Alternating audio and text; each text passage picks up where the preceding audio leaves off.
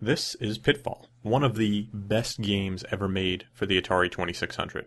Now, there are other games that are really good, and its sequel, Pitfall 2, is amazing, but the original Pitfall by David Crane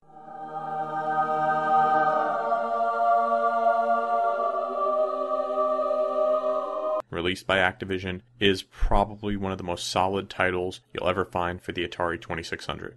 In it, you take on the role of Pitfall Harry. You can see you can move left or right, can jump, and what you have to do is avoid pitfalls. You have to avoid the dangers of the jungle. This includes wild animals like scorpions, snakes, fire, alligators.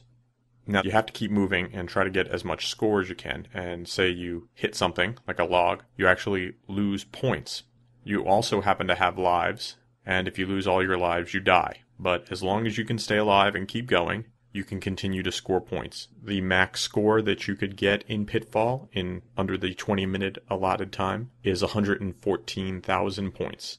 I've done pretty well. I start off going to the left and over time have sort of memorized the pattern for where you have to go. Unfortunately, I usually clip something or skip something trying to get there in 20 minutes, so I've never gotten a perfect game. But much like my need to solve the Rubik's Cube, a perfect game of Pitfall is something I'd like to achieve before I pass on to the great arcade in the sky. I just can't get enough of this game. Each time I play it, it's like a new challenge, and anyone I give it to to play finds it to be just as challenging. And what I find unusual is that they've tried to remake this game lots of times, and there's been an arcade version, PlayStation version. None of them, in my opinion, and in the opinion of many people who have played it, have lived up to the original game. In some point in the near future, I will play Pitfall 2 The Lost Caverns and talk about how awesome that game is. I prefer the original Pitfall, although they would probably still get both the same score.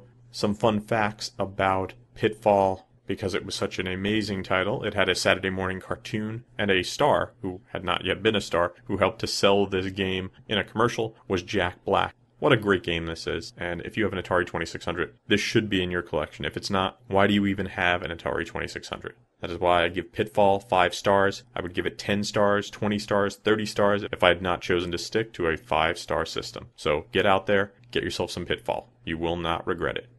Thanks for listening to this retro review. If you've enjoyed it, you can find more retro fun at my website at retroist.com.